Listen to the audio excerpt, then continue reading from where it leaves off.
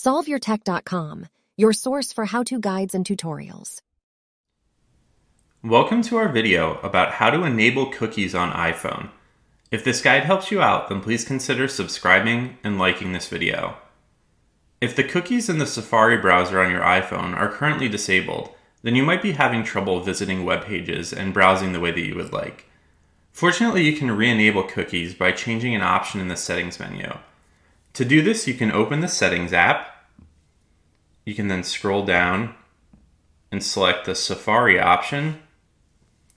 Then you need to scroll down again and find this Block All Cookies option. Right now it's turned on, which means that all of the cookies in the Safari browser are being blocked. By tapping the button to the right of this, you're going to enable cookies so that you can browse the web normally. Make sure to like this video and subscribe to our channel to see more tech guides like this one. For additional information on this topic and to read the entire article, click the link in the description to visit solveyourtech.com.